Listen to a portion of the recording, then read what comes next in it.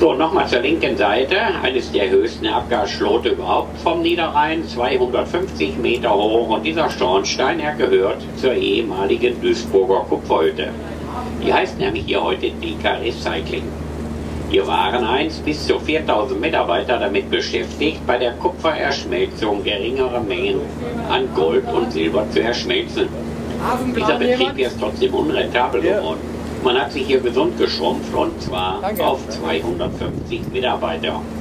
Ja, und die stellen ja heute noch an zwei Öfen aus hochwertigen Reststoffen, zum Beispiel Gussteile für die Motorenindustrie her.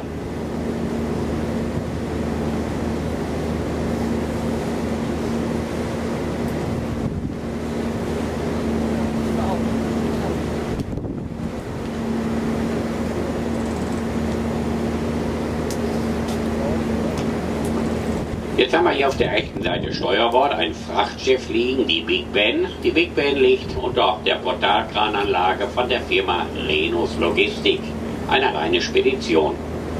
Hier bei Renus kommen Stahlfertigteile zum Umschlag. Drähte, Stangen, Matten, Rohre, Bleche, Winkeleisen, Vierkanteisen, Profileisen und dergleichen. Und diese Ware hier, die kommt aus dem Saarland, aus ganz Nordrhein-Westfalen nach Duisburg. Die wird hier oben an Land zwischengelagert. Dann wird sie wieder zu Partien zusammengestellt und vorzugsweise in diese erwähnten Rheinseeschiffe, diese Kymos, verladen. So ein Kymo hat nämlich einen Vorteil, wenn er in Duisburg lädt. Er erspart sich die Zeit und anfallenden Kosten für einen Zwischenumschlag in den Seehäfen. Das wäre dann für Rotterdam, Amsterdam oder auch Antwerpen.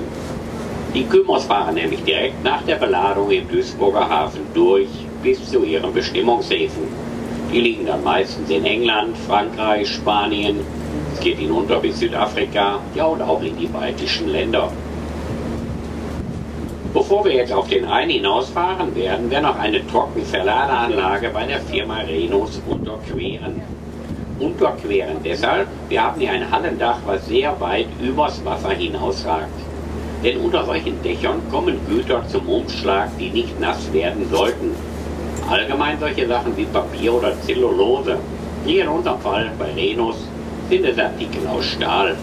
Ja, und von diesen Hallen, von diesen Trockenverladeanlagen gibt es im Duisburger Hafen zehn Stück. Gleich die Halle passiert haben, werden wir im Anschluss auch den Außenhafen verlassen und das geht dann auf den Rhein hinaus.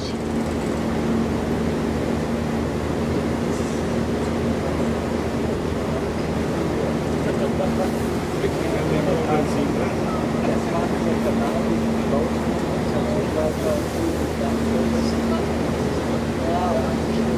ja, genau. Das ist das muss der sein. Das heißt, der Ja, keine, keine Sache.